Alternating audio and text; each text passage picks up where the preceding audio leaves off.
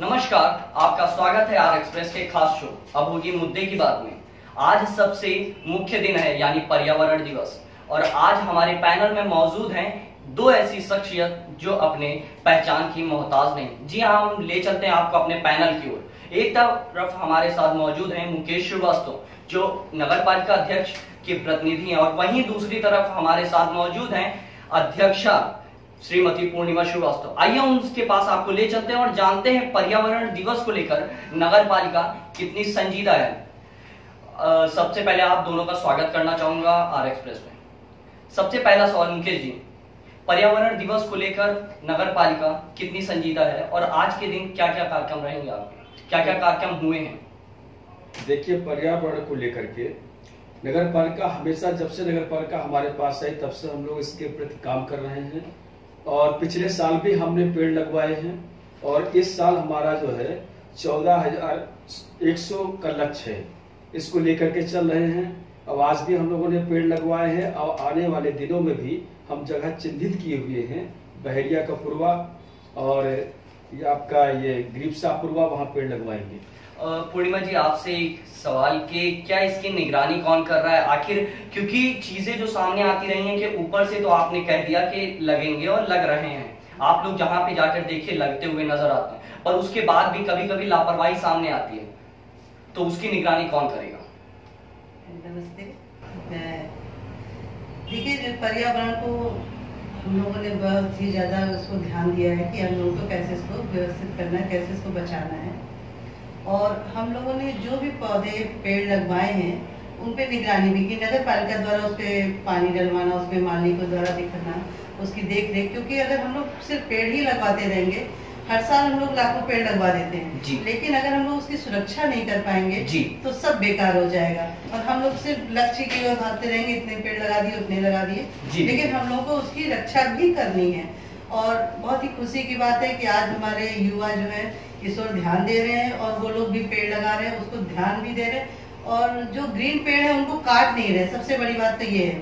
हम लोग किसी भी चीज़ को देखिए मिटाना बहुत आसान है। पेड़ को लगाने में जितना वक्त लगता है दस बीस साल में वो तैयार होता है और काटने में सिर्फ़ दो तीन घंटे लगते हैं। बहुत बड़ी बात तो पूर्णिमा जी आप। हमारे युवा जो है इसको ध्यान दे रहे हैं। जब कभी भी हमें बहुत खुशी होती है जब हमारे नागरिक है नगर पालिका के से तुरंत आके कंप्लेन करते हैं देखिए मैडम वहाँ पे हरा पेड़ कट रहा है। तो हमारे कर्मचारी तुरंत जाके दौड़ते हैं और उसको कोट काटने से रोकते हैं। उतनी ही डालें काटी जाती है जिससे हम लोग कष्ट हो रहा था जैसे बिजली से तार लड़ रहे हैं पेड़ की डालों से।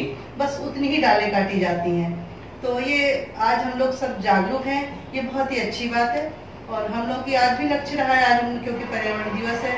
और इसकी शुरुआत आप सभी जानते हैं कि उन्नीस सौ चौहत्तर में हुई थी इसकी शुरुआत। विश्व दिवस के रूप में मनाया जाता है। पर्यावरण विश्व दिवस के रूप में। उसके बाद से इस पर बराबर कार्य हो रहा है और मेन एक दिवस इसलिए मनाया जाता है कि हम लोग याद कर सके उस चीज़ को। सेलिब्रेट करने का यही एक लक्ष्य होता है कि उसको बेहद ज़्यादा याद करने की ज़रूरत है और उस कार्य को करने की आवश्यकता है। तो वैसे तो हम लोग साल भर जब भी देखते हैं कि मौसम अच्छा है तो पेड़ लगा ही देते हैं और एक लक्ष्य की ओर ध्यान देते हुए पर्यावरण दिवस के ऊपर आज हम लोगों ने बहुत से पेड़ लगाए हैं और हमने जैसा कि अभी आपको हमारे पति मुकेश जी ने बताया ही कि 1400 एक सौ लक्ष्य हम लोगों ने चौदह हज़ार एक सौ लक्ष्य रखा है पेड़ों को लगाने का।